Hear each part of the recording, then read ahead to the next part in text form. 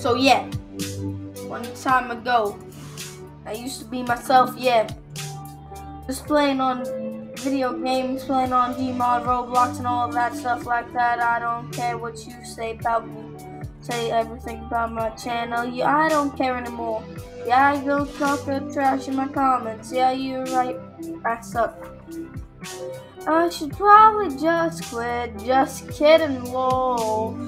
Haters, if you seeing this, shut the f up, you sons of a bitches. I hate you, man. Gmod so rad, and the security guard is dead. Yeah, Five Nights Freddy's, Fredbear's. Oh yeah, arcade machines, animatronics, security guards and phones and buttons to turn off all the lights and all the frickin' doors. And this is what I work for.